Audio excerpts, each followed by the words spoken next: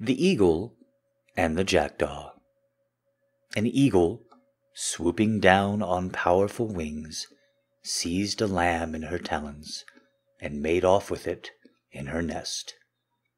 A jackdaw saw the deed, and his silly head was filled with the idea that he was big and strong enough to do as the eagle had done.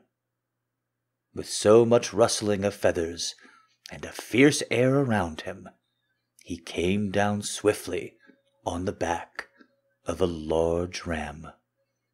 But when he tried to rise again, he found that he could not get away, for his claws were tangled in the wool.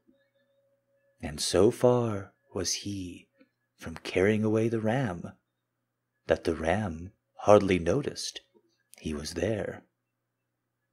The shepherd saw the fluttering jackdaw and at once guessed what had happened. Running up, he caught the bird and clipped its wings. The evening he gave the jackdaw to his children. What a funny bird this is, they said, laughing.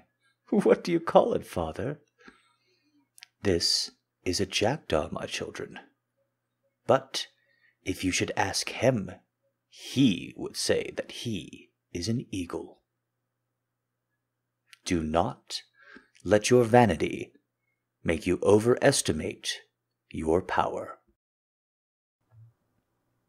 I hope you enjoyed this piece. Please consider subscribing.